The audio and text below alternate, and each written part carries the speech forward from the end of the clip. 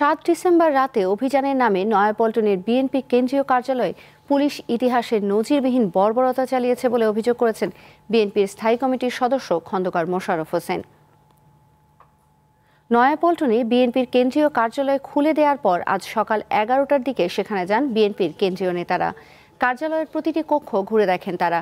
পরে সংবাদ সম্মেলনে বিএনপির স্থায়ী কমিটির সদস্য খন্দকার মোশাররফ হোসেন অভিযোগ করেন কেন্দ্রীয় কার্যালয়ের প্রতিটি ফ্লোরে অভিযানের নামে পুলিশ ধ্বংসযজ্ঞ চালিয়েছে। এ সময় নয়াপল্টনে বিএনপি কর্মী পুলিশ সংঘর্ষে নিহত মকবুলের পরিবারকে এক লাখ টাকা সহায়তা তুলে দেন বিএনপির কেন্দ্রীয় নেতারা।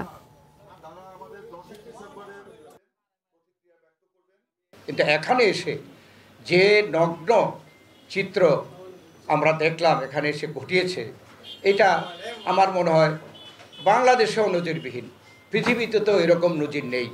সাত ডিসেম্বর রাতে অভিযানের নামে নয়াপল্টনের বিএনপি কেন্দ্রীয় কার্যালয়ে পুলিশ ইতিহাসের নজিরবিহীন বর্বরতা চালিয়েছে বলে অভিযোগ করেছেন বিএনপির স্থায়ী কমিটির সদস্য খন্দকার মোশাররফ হোসেন। নয়াপল্টনে বিএনপির কেন্দ্রীয় কার্যালয় খুলে দেওয়ার পর আজ সকাল এগারোটার দিকে সেখানে যান বিএনপির কেন্দ্রীয় নেতারা। কার্যালয়ের প্রতিটি কক্ষ ঘুরে দেখেন তারা। পরে সংবাদ সম্মেলনে বিএনপির স্থায়ী কমিটির সদস্য খন্দকার মোশাররফ হোসেন অভিযোগ করেন কেন্দ্রীয় কার্যালয়ের প্রতিটি ফ্লোরে অভিযানের নামে পুলিশ ধ্বংসযজ্ঞ চালিয়েছে। এ সময় নয়াপল্টনে বিএনপি কর্মী পুলিশ সংঘর্ষে নিহত মকবুলের পরিবারকে এক লাখ টাকা সহায়তা তুলে দেন বিএনপির কেন্দ্রীয় নেতারা।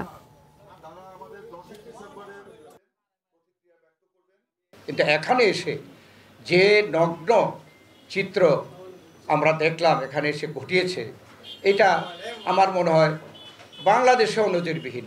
পৃথিবীতে তো এরকম নজির নেই। সাত ডিসেম্বর রাতে অভিযানের নামে নয়াপল্টনের বিএনপি কেন্দ্রীয় কার্যালয়ে পুলিশ ইতিহাসের নজিরবিহীন বর্বরতা চালিয়েছে বলে অভিযোগ করেছেন বিএনপির স্থায়ী কমিটির সদস্য খন্দকার মোশাররফ হোসেন।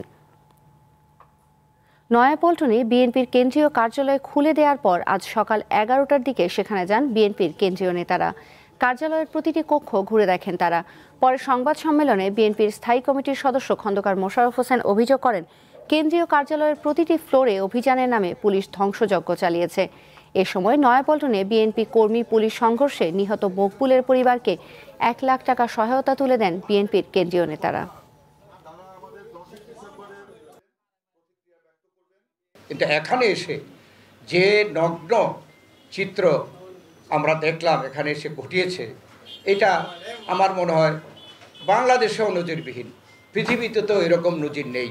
সাত ডিসেম্বর রাতে অভিযানের নামে নয়াপল্টনের বিএনপি কেন্দ্রীয় কার্যালয়ে পুলিশ ইতিহাসের নজিরবিহীন বর্বরতা চালিয়েছে বলে অভিযোগ করেছেন বিএনপির স্থায়ী কমিটির সদস্য খন্দকার মোশাররফ হোসেন।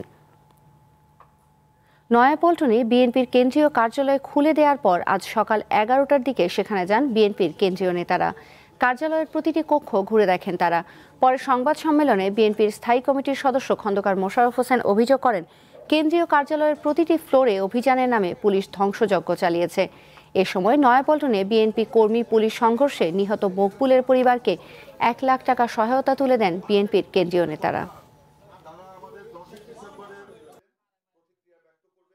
কিন্তু এখানে এসে যে নগ্ন চিত্র আমরা দেখলাম, এখানে এসে ঘটিয়েছে, এটা আমার মনে হয় বাংলাদেশেও নজিরবিহীন। পৃথিবীতে তো এরকম নজির নেই।